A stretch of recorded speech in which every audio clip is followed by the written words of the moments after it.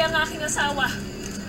Ngunit ang hindi nila alam, kahit kailan, hindi mamamatay si Diego sa aking puso.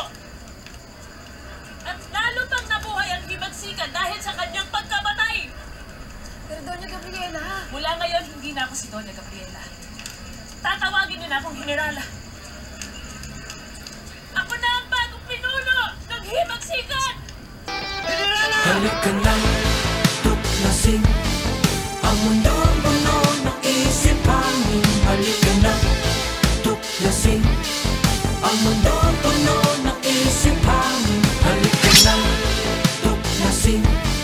Ang mundo puno ng isip hangin Halika na, tuklasin. Ang mundo puno ng isip hangin. Gabriel, mahal ko.